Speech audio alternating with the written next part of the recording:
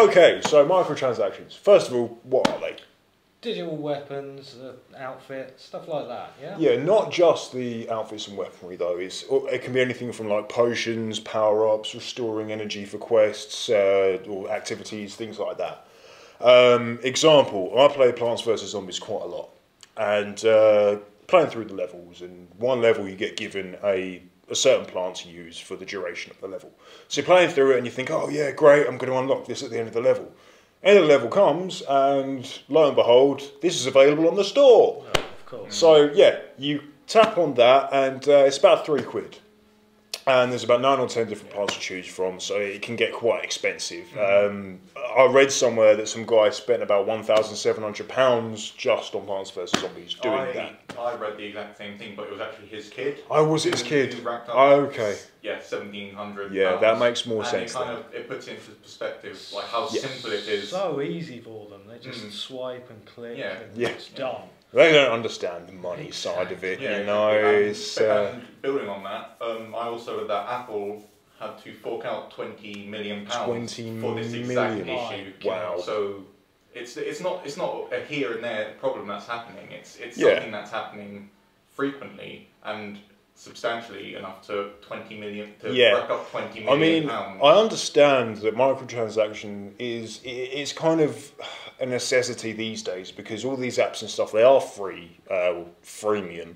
apps. Uh, so they, they do need to make the money from somewhere, you know, because if they're going to release something for free, they need to invest the time and the technology, which obviously that will cost money. But it's it's the kind of namesake for you know racking up all this debt, as you've uh, rightfully said. So it's good for the industry, just not so good for the consumer because it's preying on the weak and feeble. Yeah.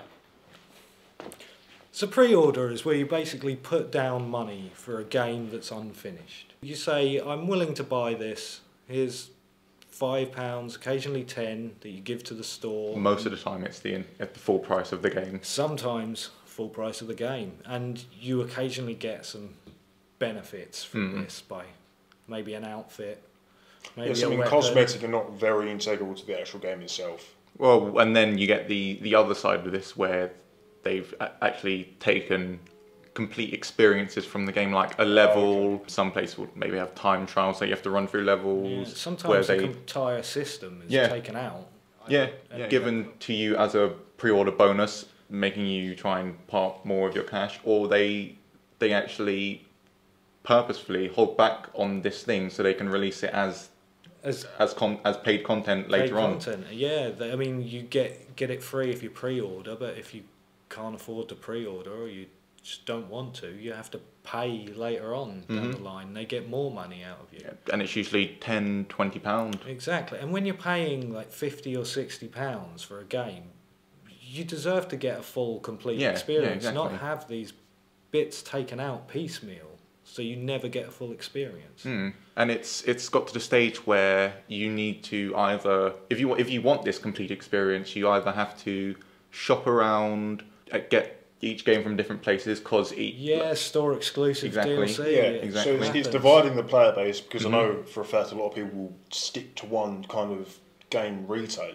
Yeah. Um, so again, that's sort of dividing rather than unifying everybody under one experience. Which Exactly. surely that's that's where they're going to make the most money and where it's going to be the most pleasing for the end consumer. and it kind of boils down to being self-destructive as well because unfortunately we we live in a time where spare money isn't exa- isn't exactly an abundant thing. yeah. So people are having to resort to piracy to actually Yeah. getting it a complete experience, Yeah, and the developers end up just losing out outright Exactly. because Instead of bringing themselves in the people in, Yeah. they're driving people Yeah. away. Yeah, exactly. More than anything. Definitely. Yeah. There's not a lot we can do to counteract it, unfortunately, though. It's more a case of don't pre order stuff, wait until it's out, find out about the game from people that have played it, find read reviews, just know what you're getting Yeah, into. yeah. Don't just blindly go into a purchase Mm. without thinking about it.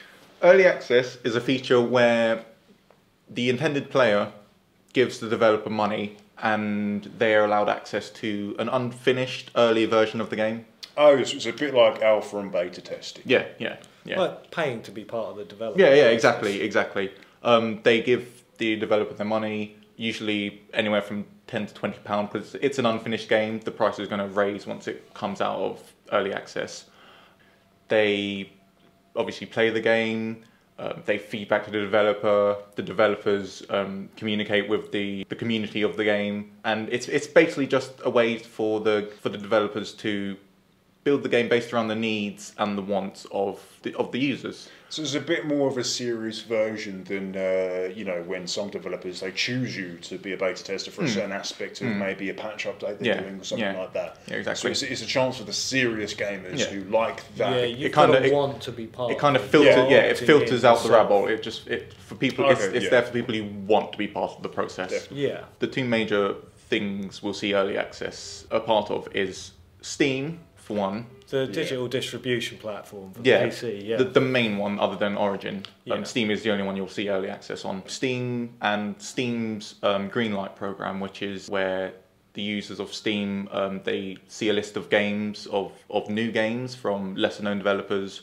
They vote for which game that they'd like to see backed by Steam Yeah. and eventually released on on the platform. Obviously, while this does sound like a, a fantastic opportunity for lesser known developers to get their game publicity, Yeah. sales, and and possibly set them up for the future. Especially in one case, um, War Z. The War Z. yeah. yeah. exactly. We see um, the lack of communication can actually destroy the game itself. Definitely. The War Z developers, they just they just weren't communicating with their with the players. Um, So people were kind of expecting a nice, shiny, polished, polished up version yeah, of well, the game. not even not even shiny and polished. It was just a game like DayZ that they could be. that would be iterated on. Yeah, and yeah. Actually improve as it went along. because instead the of- War Z was made during the hype of DayZ. Yeah, with early access, you at least have to have something playable. Um, people tried to talk to the developers about this. The developers would just basically set up a brick wall between themselves and the community, and it was it was basically like they'd taken their money and they'd run off because there was nothing heard back from them. they and had to refund it- a load of money. They had to refund it to the point where the game was pulled from Steam because Yeah. everyone was complaining Unheard about of it. normally, isn't yeah, it? yeah, Yeah. precisely. Okay, I think one of the key things you need to remember is just have patience. Uh, all this content is going to be released one way or the other. So you may as well not waste your time and risk being ripped off. Just sit back, relax, and wait for the developers to do their job. Read up on the games, look on the forums, read reviews, find a reviewer that has similar interests to you and kind of look at their opinion. while these worlds are fictional, while these stories may not exist, while the characters that you portray never existed at all, that you can still be conned out of money, time. So it's just be careful, do your research, be patient, be smart. And vote with your wallet.